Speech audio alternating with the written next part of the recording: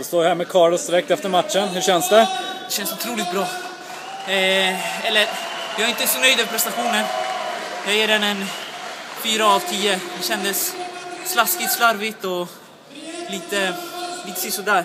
Men jag vill tacka mina, mina vänner som har hjälpt mig för den här matchen, mina sparringpartners. Stort tack till Baha Kadum som har varit där från, han har varit där varje sekund och eh, hjälpt mig på alla sätt och vis. Jag är honom evigt tacksam. Gabriel Mboch som har varit med i alla mina matcher och klippt min vikt. I princip, det är han som gör det åt mig nästan. Och Andreas Michael som är här och coachar idag, han är en fantastiskt, fantastiskt duktig tränare. Och vi har haft, eh, haft ett bra eh, träningscamp på Allstars och många duktiga sparringpartners och sådär som, som hjälper till. Och, eh, Diego var här idag också och hjälpte mig, Nico allihopa, alla från Allstars. Stort tack och extremt stort tack till alla som kom hit från Stockholm och, och hejade på oss.